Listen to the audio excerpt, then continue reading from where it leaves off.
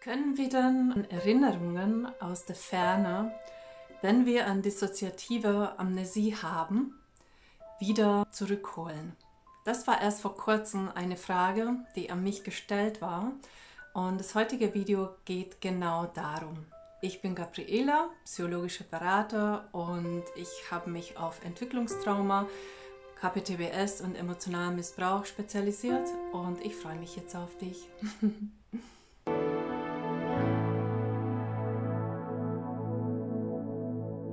Als erste ist gut, wenn wir die Frage beantworten, was ist überhaupt Dissoziation?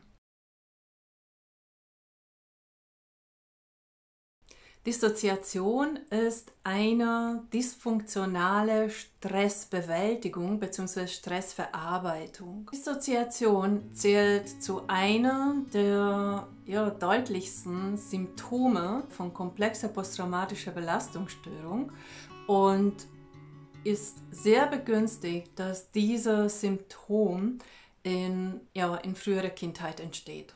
Warum? Weil wenn wir in erwachsenem Alter massive oder wiederkehrende Stresseinwirkungen haben, dann haben wir bereits gewisse mm, Muster schon, die wir anwenden für die Verarbeitung und Bewältigung von dieser Stresseinwirkung. Als Kind, insbesondere als Kleinkind, fehlen uns diese Muster, also gut bewährte Beispiele, die unser Gehirn auch schon abgespeichert hat. Und dementsprechend treffen wir auf etwas zurück, was sich ja das Gehirn im Kleinkindalter, wo ja noch sehr, sehr plastisch und veränderbar bzw. überhaupt in der Entwicklung ist, das ist eine unbewusste Entwicklung von einem Bewältigungsmuster, in dem wir dissoziieren. Also das Wort Dissoziation kommt aus dem Griechischen und bedeutet Abspaltung. Und das beschreibt auch schon sehr gut und passend, wie unser Gedächtnis bzw. überhaupt ja die Aufnahme von Reize, die wir dann letztes Endes als ja, Erinnerungen und Erinnerungsstücke bzw. dann eben Kurz- und Langzeitgedächtnis verarbeiten.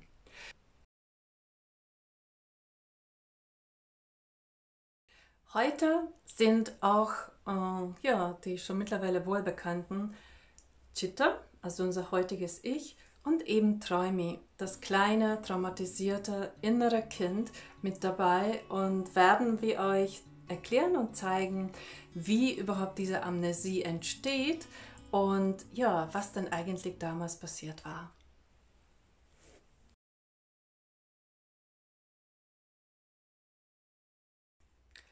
Wir wissen heute, dass schätzungsweise 400.000 Reiter in einer Sekunde, was auf uns einprasselt. Und letztes Endes muss ja unser Gehirn, naja, das eben wahrnehmen, dann auch gut selektieren und dann auch auswerten, also sozusagen einordnen, naja, lohnt sich denn das überhaupt abzuspeichern? Oder, äh, ja, vielleicht äh, tut es mir ja gar nicht gut, wenn ich das abspeichere also ich mache damit etwas anderes. Und für diese einzelnen Funktionalitäten ähm, oder für diese einzelnen ja, Aufgaben gibt es natürlich im Gehirn verschiedene Bereiche, die sogenannten Orte des Gedächtnisses. Und die spielen eine ganz große Rolle natürlich auch bei der dissoziative Amnesie. Wie ich einleitend schon beschrieben habe, mm, Dissoziation ist letztes Endes eine Art Abspaltung von ja, Erinnerungen. Und es gibt verschiedene Formen von Dissoziation. Wir haben sogenannte Psychoforme Dissoziation und auch ähm, Somatoforme Dissoziation. Das heißt, dass ich entweder bezogen auf meinen Körper gewisse ja, Wahrnehmungen und auch mh, mm, Erinnerungen ähm, eben abspalte oder dass ich bezogen auf meine seelische Wahrnehmung und äh, Gedächtnisraum, nenne ich das mal so, ähm, letztes Endes Details ja verdränge. Die dissoziative Amnesie gehört zu den Psychoformen dissoziative ja, Spaltung. Um, ähm, und zwar, wie das auch schon sagt, mit Amnesie, also Amnesie ist ja auch wieder ein griechisches Wort und bedeutet ähm, ohne Erinnerung zu sein. Und das heißt ja tatsächlich, dass ähm, viele Menschen, also seltsamerweise habe ich jetzt die letzten Wochen ganz viele hm, begegnet, auch in Gesprächen, die erst vor kurzem zum Beispiel langsam Erinnerung zurückgewonnen haben, ähm, aber auf jeden Fall viele, viele Jahrzehnte sogar so verbracht haben, dass sie entweder nur gewisse, gewisse Teile von Erinnerungen oder ganze Jahre zum Beispiel aus der Kindheit, sprich, sie konnten auch gar nichts ähm, ja, aus, aus, aus dieser Zeit sozusagen als Erinnerung abrufen.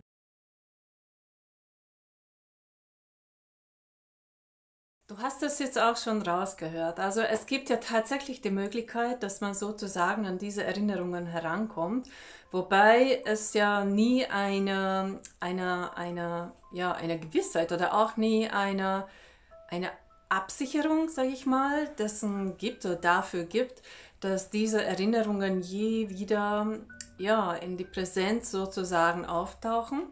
Und ich werde auch gleich ähm, ein wenig dazu erzählen, welche ja, Vorgehensweise heute sozusagen ähm, eben bevorzugt wird, ähm, an solche Erinnerungen ranzukommen oder sich herantasten weil wo er bemerkt, mh, diese Erinnerungen mit dieser Amnesie, was unser Gehirn damals als ähm, ja, Bewältigungsstrategie entwickelt hat, hat einen sehr guten Grund gehabt, warum vergessen hat.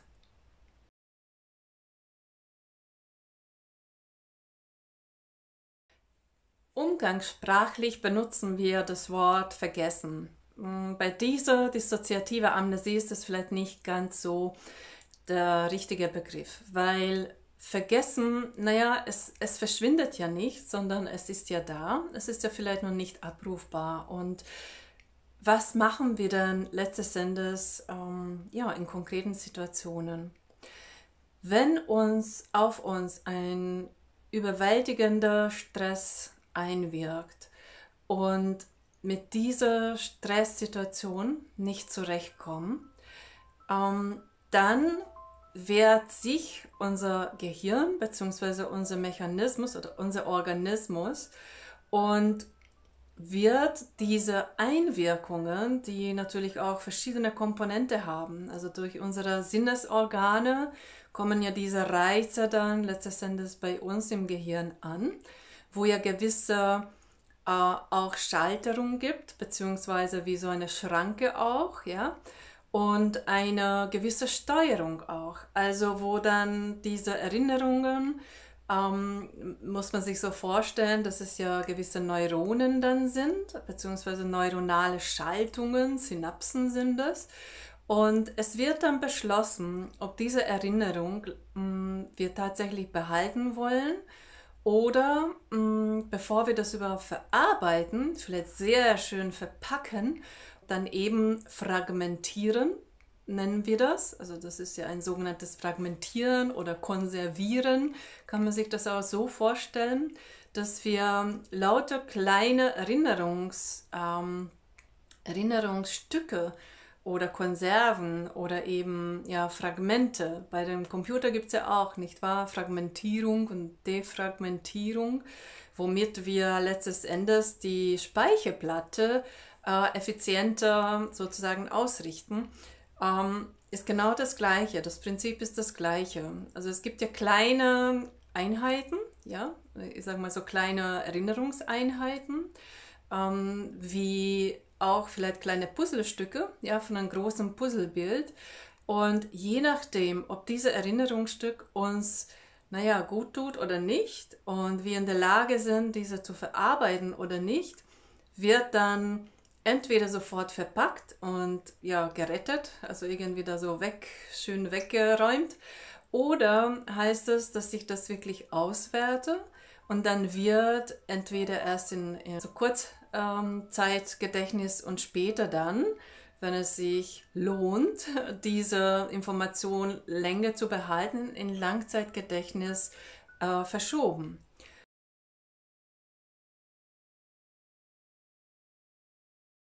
Und wenn wir aber so eine große Trauma-Einwirkung, traumatisches Erlebnis ja, haben, dass diese Schranke, was ich eben erwähnt habe, äh, Hippocampus, dieser Hippocampus wird die Bewertung machen, oh nee, also das werde ich jetzt nicht ähm, noch weiterleiten, sozusagen in präfrontale Cortex oder ich werde das auch nicht nochmal in Thalamus verschieben, sondern ich mache schön in eine dicke Konservenschale verpacken oder in ein Tresor schließen. Das sind ja vielleicht auch kleine Tresoren ja, im Gedächtnis und im, im Gehirn.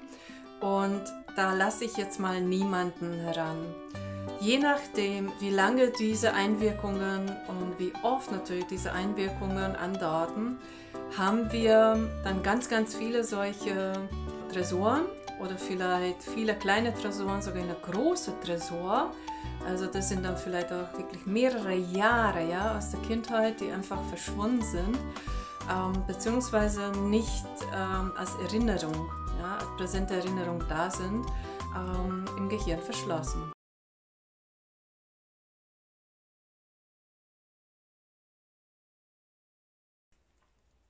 Jetzt lass uns vielleicht mal anschauen, wie heute Chitta, also dein heutiges Ich und eben damals das kleine traumatisierte Ich, ähm, eben damit umgeht. Also, du bist vielleicht noch zwei.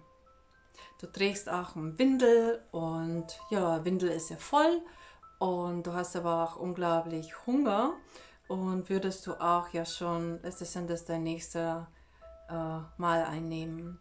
Und Du bist ja zwei, also du kannst ja auch noch nicht sprechen. Was machst du? Fängst du an zu schreien, ja? Schrei, schrei. So. Was passiert? Kommt rein gar nichts und gar niemand. Und du merkst, dass nicht nur ja alles, dass sich alles schrecklich anfühlt, ja, äh, an deinem Körper, sondern dass du auch natürlich Hunger hast und dass du auch niemanden um dich herum hast, immer mehr auch Angst bekommst.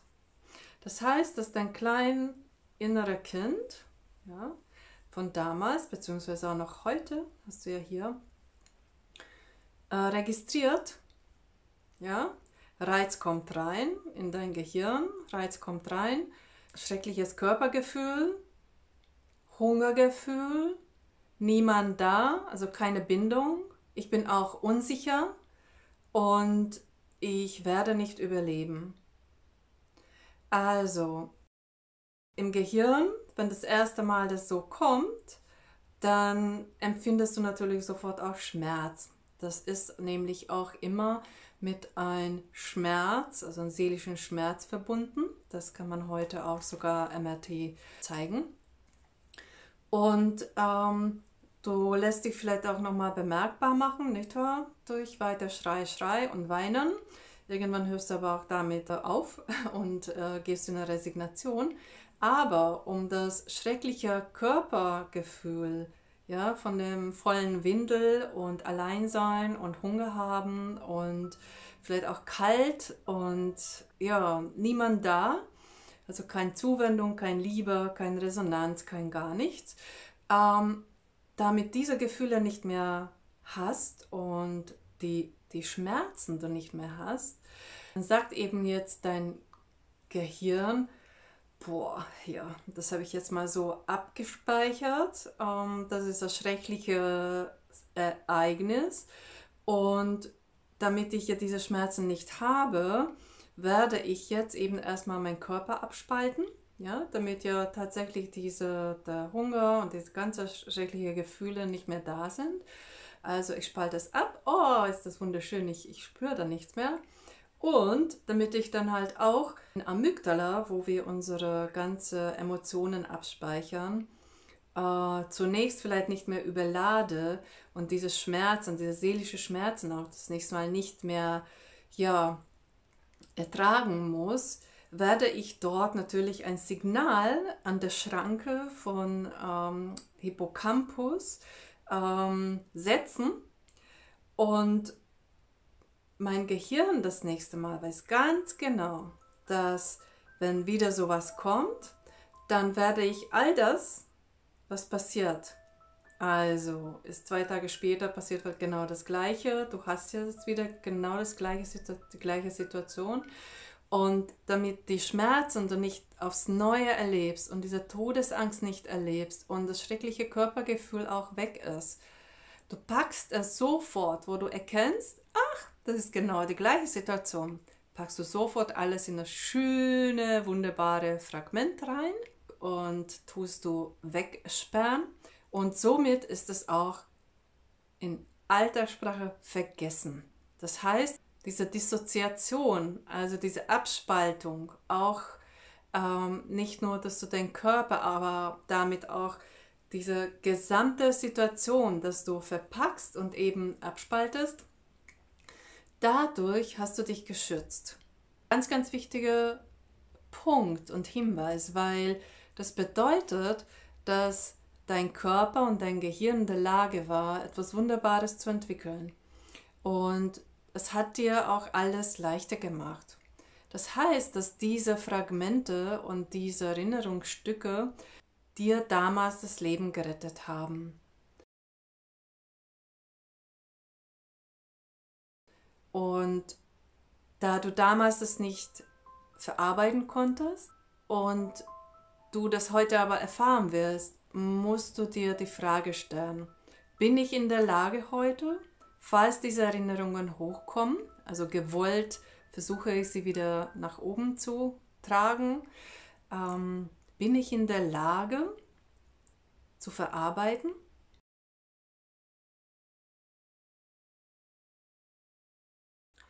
Jetzt könnten natürlich viele fragen, naja, warum, warum will denn jemand diese Erinnerungen wiederhaben, wenn sie natürlich eine sehr gute Schutzfunktion hatten und uns dabei, naja, vor Schlimmen oder Schlimmeres über, die, über ganz lange Zeit ja, vor Schlimmeres bewahrt und, und äh, geschützt haben.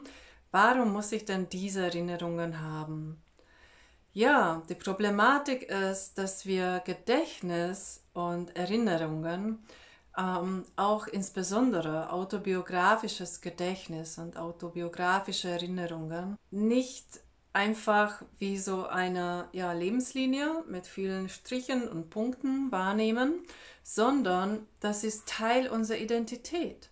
Also ich gehe stark davon aus, dass diese Menschen, wenn eben den Wunsch haben, diese Erlebnisse, diese Erinnerungen genau haben zu wollen und genau erfahren zu wollen, ist genau dieser Wunsch dahinter, weil sie, weil das natürlich zu ihrer Identität gehört. Und das ist, das ist mehr als sozusagen etwas, okay, ich weiß es nicht, sondern wir haben das tatsächlich erlebt. Also es ist nicht, ähm, nicht nicht Geschehenes, sondern tatsächlich Erlebtes, was auch irgendwo in unserem, in unserem Organismus, in unserem Körper, in unserer Emotion, emotionalen Welt, ja, ähm, eigentlich vorhanden ist und bis heute, dass es auf uns einwirkt, auch wenn wir das nicht wissen. Ähm, und das kann höchstwahrscheinlich der Grund sein, warum diese Menschen und auch vielleicht du ähm, diese Erinnerungen wieder haben magst.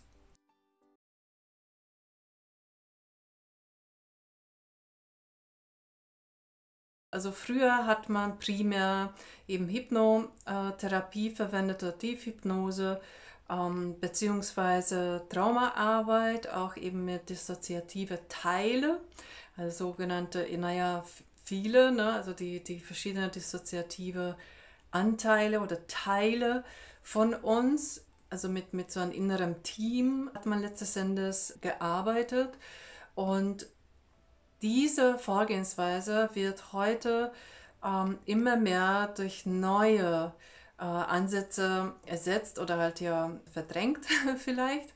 Sehr, sehr deutlich und äh, erkenntlich ist, dass früh traumatisierte Menschen und wahrscheinlich dann auch du, wenn du das eben zuhörst, primär darin das Leid und den Schaden ja, erlitten haben, dass ihre Bindungen unsicher waren oder vielleicht sogar bis heute sind, also auch die Bindungsmuster, beziehungsweise dass eben die Stressbewältigung, Stressverarbeitung, beziehungsweise auch die Beruhigung, was ja sehr wichtig ist, Stichwort Selbstregulation, äh, fehlgeleitet und nicht, ja, nicht funktional vorhanden ist.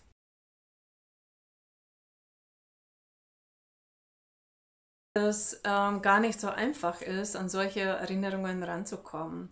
Also wie funktioniert dann letztendlich das ganz am Anfang, also ja. Zeitpunkt sozusagen, äh, wo diese Ereignisse in Kindesalters ähm, geschehen? Naja, ähm, wie ich erwähnt habe, in Kleinkindesalter überhaupt mal entstehen. Also das heißt, dass wir die sechs Ebenen unseres äh, Nervensystems ähm, bilden, die bilden sich ja gerade erst aus. Und ähm, wir wissen ja, dass das erste Nerv oder erste Ebene des Nervensystems ist ja das Stresssystem, welches sich ja ausbildet. Und wenn dieses Stresssystem schon so früh so zugeprasselt wird, und zwar mit ähm, ja, un, nicht, nicht nur ungewollte, aber auch eben nicht guttuenden Reizen, dann nimmt ja natürlich dieses Stresssystem nicht nur Schaden und ganz, ganz viele Wunden, sondern entwickelt sich ja anders, als ursprünglich die Natur angedacht hat. Wir müssen auch bedenken, dass wenn das Stresssystem als erstes System hier schon eben mit so viel Schäden, Wunden sich herangedeiht, alle anderen Systeme, die sich danach erst eben ausbilden, wie zum Beispiel gleich als zweiter unser Beruhigungssystem, auch auf eine schiefe Bahn sich entwickelt. Alles läuft anders, als dass das Gedeihen eines Kindes unterstützen würde. Kommt dazu diese Fragmentierung, also dieser Prozess, dass das Gehirn sehr, sehr früh mh, hm, gelernt hatte, diese ja, un, ungute Reize sozusagen ja, in Fragmente abzuspeichern, ähm, das, das wird zu ein, ein Muster. Also dieser Stressbewältigungsmechanismus, das wird ein eine Gewohnheit, ein sehr gut und sehr tief an, angelernte, an erworbene, ja, selbst entwickelte Struktur. Und dementsprechend wird dann diese, diese Mechanismus, diese Muster auch öfters, also nach, dem, nach dieser ersten Fragmentierung und äh, Dissoziation immer wieder angewendet.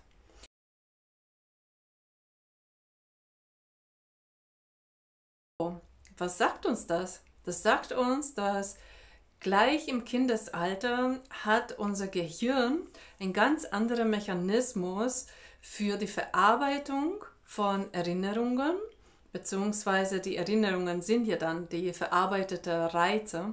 Also überhaupt für Reizeinwirkung und Stresseinwirkung erlernt. Dementsprechend ist die Ent Entwicklung und Entpackung von, von diesen Fragmente ist auch nicht ähm, nach Schema F, sondern bei jedem Menschen wird es wahrscheinlich in einer anderen Tiefe sein, auch mit anderen, ja, äh, ich sag mal, äh, Auslöserreiz, das möglich sein. Und wenn wir, habe ich ja auch schon na, mit der Triggerliste das auch beschrieben, wenn wir KPTBS haben, also mit Entwicklungstrauma und Entwicklungstrauma beinhaltet ja immer, inkludiert ja auch immer die Bindungstrauma. Aber wenn wir damit ja unser Leben ähm, meistern, dann ist uns klar, dass letztes Endes alles uns triggern kann. Also so ein ja, Erinnerung, ähm, entpackender äh, Reiz, also ein ein, ein ganz, ganz alte Erinnerung, äh, plötzlich auflösende äh, Triggerreiz kann zu jeder Zeit in meinem Leben und durch alles Mögliche mal ja, passieren.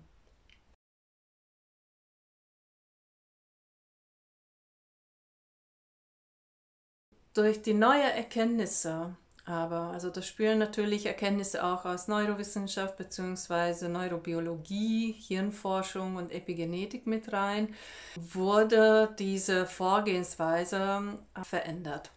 Es gibt bereits seit den Ende der 90er, gab es in der USA mal so eine Feldstudie, wo eben durch Hypnose ganz viele Patienten plötzlich sogar sexuelle Missbrauch hm, als Erinnerung da hatten, wovon sie davon nie was gewusst haben. Also sie waren ja ursprünglich sogar wegen was anderem äh, zu, zu Therapeut gegangen und dann kamen plötzlich solche Erinnerungen hoch, wobei dann auch, ich sage mal nicht Klage, aber ja, ein, ein Beigeschmack oder halt, viele haben sich halt gewehrt bzw. sich beklagt ähm, und auch angezweifelt, ja, sind dann diese Erinnerungen überhaupt reell oder war das vielleicht nur eine Art von Manipulation oder Suggestion, ja, durch die äh, hypnotische Behandlung. Diese Hypnose kann natürlich auch gerade bei solchen Erinnerungen überwältigend oder auch einfach solche Geschehnisse plötzlich hochholen, worauf wir uns noch gar nicht vorbereitet haben oder letztes Endes überhaupt die Ressourcen nicht haben oder auch ja nicht mehr, schlicht und einfach nicht mehr erlangen werden, weil wir so viel erlebt haben.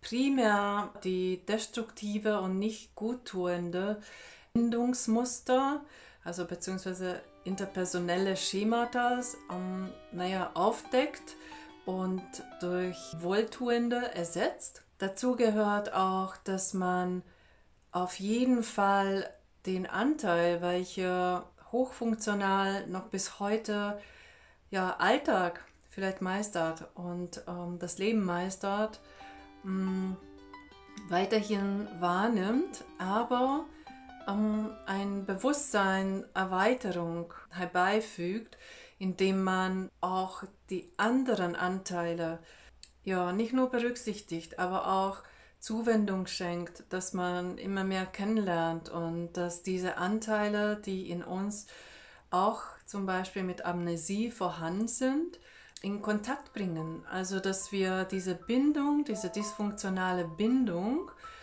die auch zu uns selbst entwickelt haben, langsam aufbauen und zwischen den verschiedenen Anteilen die wir uns entwickelt haben. Das klingt wahrscheinlich für viele äh, etwas äh, befremdlich sogar.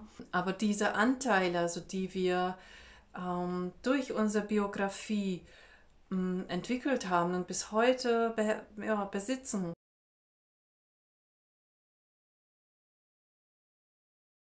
dass wir diese in der familiäre ja, Zuhause ah, das ist ein tolles, tolles Bild, oder? Eine familiäre Zuhause zusammenführen und ein, ein Ich-Gefühl dann haben werden, wo, wo ich ja dann mein heutiges Ich, also Chitta, ähm, beziehungsweise mein traumatisierter kleiner ja, Träume hier, aber zusammenführe. Und es kann sein, dass ich nicht nur ein Träumi habe, sondern Träumi hat noch zwei, drei, vier, fünf äh, Geschwister und Gebrüder. Aber dass wir irgendwann alle zusammen eine Familie sind und dass wir uns als eins anfühlen. Das ist letztes Endes die Zielsetzung und, und dass wir langfristig eben auch unser Beruhigungssystem in einem Zustand und in einer Form haben, wobei wir uns weitgehend selbstständig regulieren können.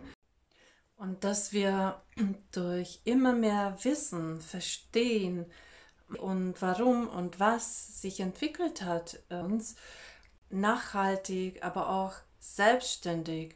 Diese Nachbeälterung wir ja, fortsetzen und dass wir unser eigener Therapeut und Begleiter werden.